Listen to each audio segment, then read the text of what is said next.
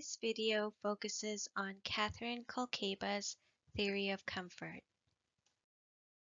Catherine Kolcaba is a nurse who introduced comfort theory.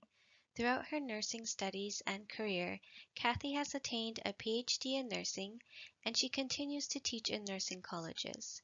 Kathy specializes in gerontology, end-of-life and long-term care interventions, comfort studies, instrument development, nursing theory, and nursing research. Kolcaba developed the comfort theory during the completion of her Master of Science in Nursing.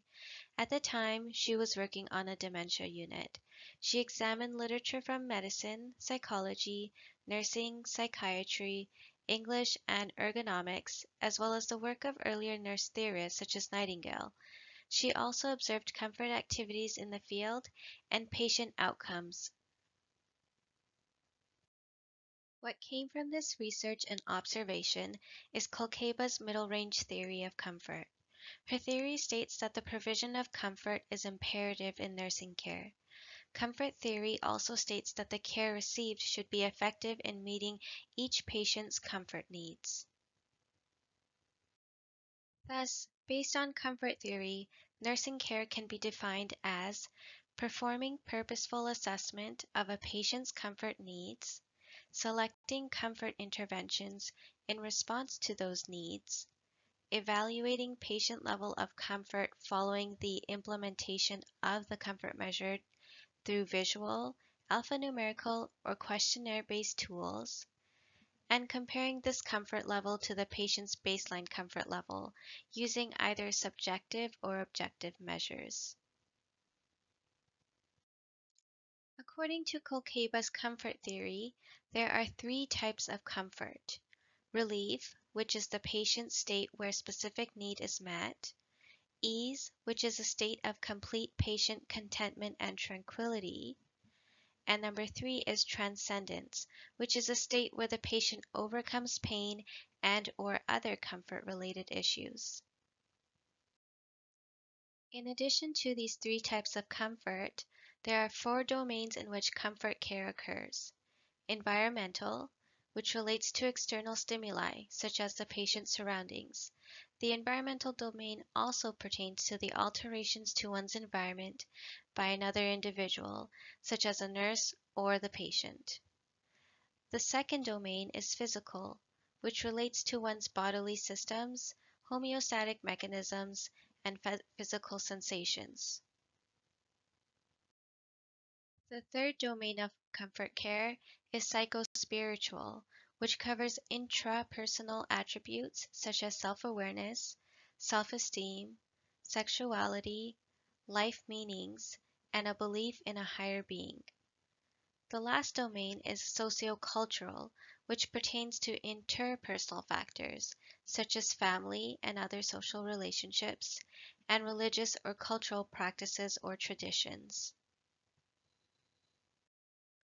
Some examples of measures implemented by nurses that are meant to enhance comfort in one or some of these life domains include providing a patient with a warm blanket, providing therapeutic touch, administering pain medication in response to high patient pain levels, providing pillows, helping the patient connect with family or other social supports, tending to the patient's needs in a timely manner, and open and transparent communication with the patient. The following case study done by Krinsky, Murillo, and Johnson utilizes Kolcaba's comfort theory to assess how a specific comfort measure influences the comfort of cardiac patients in their four life domains of environment, physical, psychospiritual, and sociocultural. The study uses Kolcaba's theory of comfort in reference to patients suffering from symptoms pertaining to discomfort from cardiac syndromes. The specific intervention of quiet time is described for its potential use within this population as a comfort measure that addresses Kolcaba's four contexts of comfort. The purpose of the study was twofold. Apply comfort theory to nursing care of cardiac patients and evaluate quiet time as a measure using Kolcaba's theory to enhance the comfort experience for cardiac patients in all four contexts of care. Using Kolcaba's theory, researchers provided evidence from the literature to highlight the benefits of the quiet time intervention in a hypothetical situation with a cardiac patient. From a physical context, quiet time can reduce the incidence of serious physical effects such as inadequate sleep. From an environmental context, adjusting medical equipment such as Alaris pumps or pulse oximeters to patient-based parameters reduces the incidence of unnecessarily alarming, which further promotes an environment conducive to silence. Psychospiritually, reduced exposure to noise stimuli is associated with reduced patient agitation, anxiety, and an increased restfulness and meditation opportunities.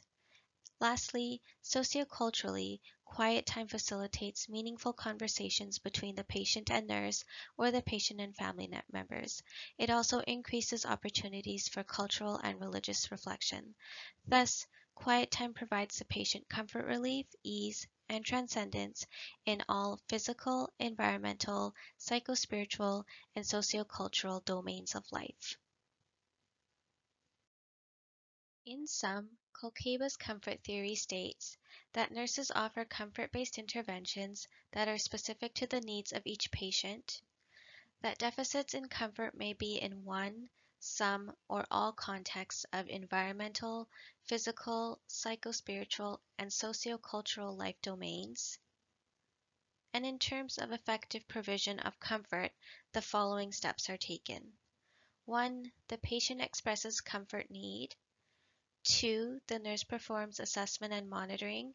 This can be done by observing or examining patient verbal or nonverbal cues, diagnostic or lab results, and social determinants of health. Third, the comfort measure implemented is specific to the individual patient's comfort need. And fourth, the nurse evaluates the comfort measure's efficacy in comforting the patient. Here are a few things to consider regarding patient com comfort. Various factors may influence a patient's perspectives on comfort levels and experiences. Intervening variables, which are phenomena that affect the patient's understanding of total comfort, can influence the patient's perception of comfort levels and experiences. Some examples of intervening variables include age, past experiences, finances, and support systems. The amount and type of comfort interventions needed, as well as the context that comfort interventions and types being provided, are also important factors to consider when discussing patient comfort. Four assumptions and theoretical assertions set the foundation for Kolcaba's comfort theory. They are that the holistic outcome of effective nursing care is comfort. The need for comfort is inherent in every individual, and it is part of human nature to look for comfort whenever the need arises. The third assertion states that human beings respond holistically to complex stimuli. And lastly, nurses play a critical role in collecting information to identify patient-specific needs, plan and deliver appropriate comfort interventions, and evaluate patient comfort outcomes to determine the efficacy of comfort measures that were implemented. Comfort theory has many uses and advantages. It sheds light on nurse-provided comfort from a practice perspective, it addresses methods that nurses can use to consistently provide and evaluate comfort measures implemented. It also allows nurses to recognize that each patient has unique perspectives, backgrounds, and care goals.